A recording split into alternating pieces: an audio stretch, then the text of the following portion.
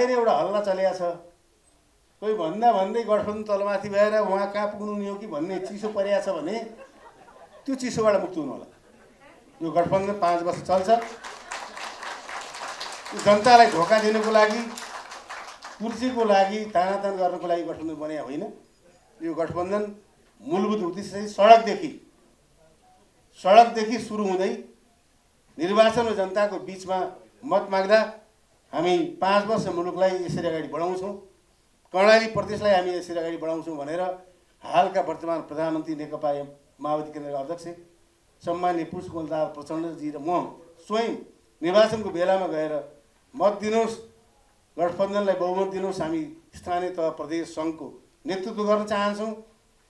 र आज कर्णालीको कुरा गर्दा कर्णालीलाई अब पछि पारियो पछाडि पर्यो भन्ने भाष्यलाई बदलेर कर्णालीलाई अगाडि पुर्याउँछौँ केन्द्रमा पुर्याउँछौँ भनेर साझा रूपमा भनेका कुरा न उहाँले बिर्सिनु भएको छ न मैले बिर्सिएको छु।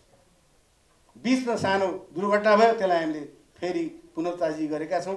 त्यसैले भुवन केसीलाई ढुक्क हुनुहोस् तपाईँका प्रस्तावहरू सबै सम्पन्न गर्ने गरी हामी यो सरकारलाई अगाडि बढाउँछौँ र मुलुकको अहिलेको अवस्थामा यता कता विविध कारणले नेपाली दाजुभाइ दिदीबहिनी मतदातामा देखिएको निराशा अलिकति यताउता हुने हो कि भन्ने खालको जुन भावना छ हामी हामी आफूलाई सच्याउँछौँ सुधार्छौँ कमजोरीहरू जहाँ भएका छन् तिनलाई हामी खुलेर यी कमजोरी भए हामी त्यो कमजोरी दोहोऱ्याउनु हाम्रा गल्ती छन् भने गल्ती दोहोऱ्याउनु भन्ने हामी सङ्कल्प गर्छौँ त्यो प्रतिबद्धता आम मतदातालाई विश्वास दिलाउँछौँ र मुलुकलाई अहिलेको अप्ठ्यारोबाट माथि उठाएर उन्नति र प्रगतिको विशेष कार्ययोजना मार्फत तीव्र गतिमा हामी अगाडि लिएर जान्छौँ।